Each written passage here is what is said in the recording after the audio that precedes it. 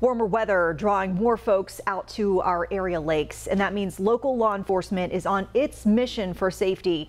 And sadly, this boating season has already turned tragic. Over the weekend, search and rescue crews recovered the body of a missing boater on Lake Norman. And this is the second drowning at the lake in just a month.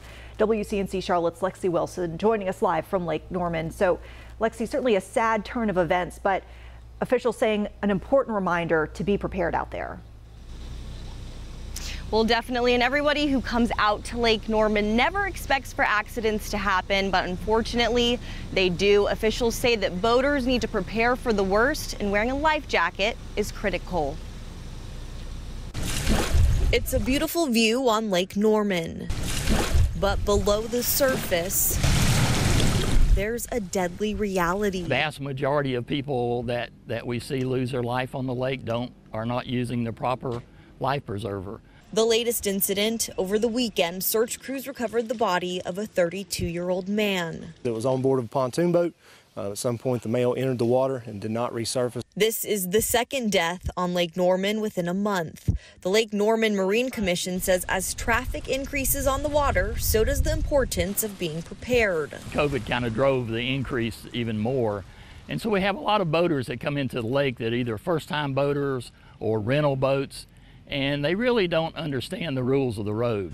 This jet skier knows the power and the pain of the water all too well. They're not paying attention, and you know, there's been a couple times I had to avoid an accident. The commission recently launching a campaign called Love Where You Lake, giving key laws and rules to know. For example, anyone 13 or younger needs to wear a life jacket at all times. There should also be a life jacket for every single person on board, regardless of their age and a boater safety and education course is required for all boat operators born after 1988. You don't run close to somebody else, you don't run close to a dock, uh, you know, just things that, that you would hope people would have some common sense about. And as more boats roll in, law enforcement's job gets tougher, but the message won't change. Always wear a life vest out there, you know, because if I can't see the bottom, I'm definitely wearing one of these. And the commission also told me that they gave free life jackets to local law enforcement agencies. So when they stop boaters on the water and they don't have life jackets, they can give them to those boaters spot on.